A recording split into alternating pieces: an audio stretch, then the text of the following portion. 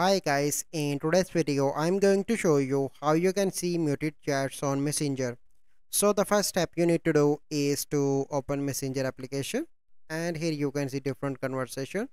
So I'm going to mute this one so you simply need to hold that and here you can see an option of mute. Click on that you can mute message notification, call notifications, mute message and call notifications both. So I want to mute both, click on OK and here you can see mute this chat for 15 minutes 1 or 8 hours so it is up to you. So i'm going to click on until i change it. Click on ok. And now it is muted. So here you can see that. Now if you want to see muted chat so you simply need to scroll and you can see this bell icon with the cross. So this is the muted chats. So you simply scroll down and find easily chats here uh, wherever you muted the chat. So this is the only method possible. So i hope you find this video helpful. If you find this video helpful must like this video. Subscribe to our youtube channel for future videos. We'll see you in the next video. Thank you. Have a good day